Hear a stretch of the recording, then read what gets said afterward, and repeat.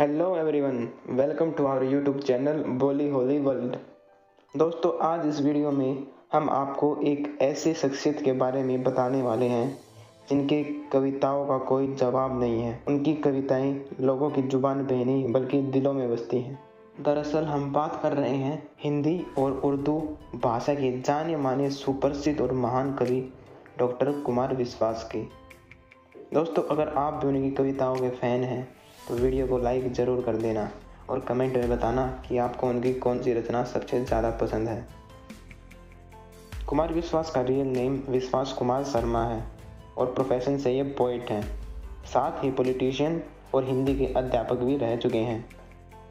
इनकी date of birth 10 फरवरी 1970 है और इनका जन्म पिलखवा उत्तर प्रदेश में हुआ है। अब आपको इनकी फैमिली से मिलवाते हैं। इनके फादर का नाम चंद्रपाल शर्मा है। और वो आरएसएस डिग्री कॉलेज में लेक्चरर थे। और इनकी माता जी का नाम रमा शर्मा है और वो एक हाउस वाइफ है। कुमार विश्वास अपने भाई बहनों में सबसे छोटे हैं और उनके तीन भाई और एक बहन है। अब बात करते हैं इनकी एजुकेशन के बारे में। दोस्तों, कुमार विश्वास राजपुताना रेजिमेंट इंटर कॉलेज से पढ़े हैं और उसके बाद उन्होंने Motilal Nehru regional engineering college में एडमिशन ले लिया। उनके पिताजी चाहते थे कि वो इंजीनियर बने, लेकिन उनका इंटरेस्ट इसमें नहीं था, इसलिए उन्होंने उसको छोड़ दिया और बाद में हिंदी लिटरेचर की पढ़ाई की, जिसमें उन्होंने पीएचडी कंप्लीट की है। अपनी पीएचडी कंप्लीट करने के बाद उन्होंने अपना नाम विश्वास कुमार शर्मा से कुमार विश्वास कर लिया था, ताकि उनकी आइडेंटिटी उनकी कास्ट से अलग हो। उसके बाद 1994 में कुमार विश्वास ने लाला लाजपत राय कॉलेज, राजस्थान में एक हिंदी अध्यापक के तौर पर भी काम किया है। फिर उसके बाद 2012 में उन्होंने आम आदमी पार्टी यानी आप पार्टी को ज्वाइन कर लिया था, लेकिन कुछ समय बाद उसको भी छोड़ दिया।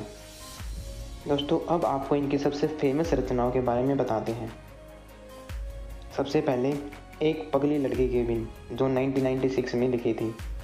उसके बाद कोई दीवाना कहता है 2007 में, और उसके बाद होठों पर गंगा हो 2016 में, और फिर 2019 में फिर मेरी याद। ये चारों इनकी काफ़ी फ़ेमस पोइट्री हैं। इनकी वाइफ का नाम डॉक्टर मंजू शर्मा है, और वो भी एक लेक्चरर हैं।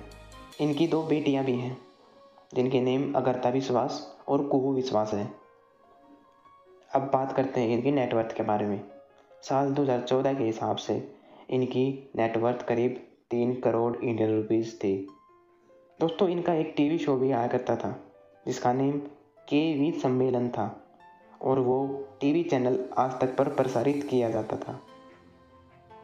दोस्तों, कुमार विश्वास ने एज ए पोइट काफ़ी सारे फ़ंक्शन किए हैं, सिर्फ़ इंडिया में ही नहीं, बल्कि अब्रोड में भी, जैसे दुबई में यूएस में सिंगापुर में, और जापान में। दोस्तों, आज की वीडियो में बस इतना ही। उम्मीद करते हैं आपको वीडियो पसंद आई होगी। तो वीडियो को लाइक शेयर और कमेंट ज़रूर करें और हमें बताएँ कि आपको कुमार विश्वास की कौन सी कविता सबसे अच्छी लगती है।